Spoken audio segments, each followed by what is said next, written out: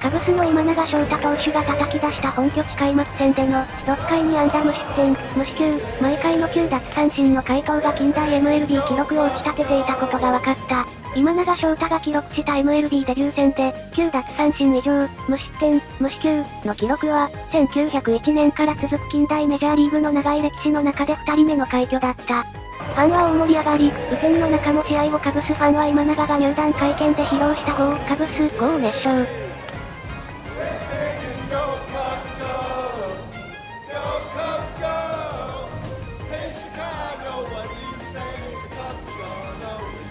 今永はマジですごいし空振り率が80%ってエグすぎやろ。初登板で緊張する中、メジャー級にもアジャストできてたんでしょうね。普段通りプレイすれば通用するということ。楽しみなシーズンになるように期待。完璧に近い、完全に支配してたな。無四球で面白いように三振も取れ計9個。2回の味方の失策以外は5回まではノーヒットの圧巻の投球だったわ。今永クラスの投手は通用しないみたいな意見が多々あったけど、スタートは素晴らしい結果だったな。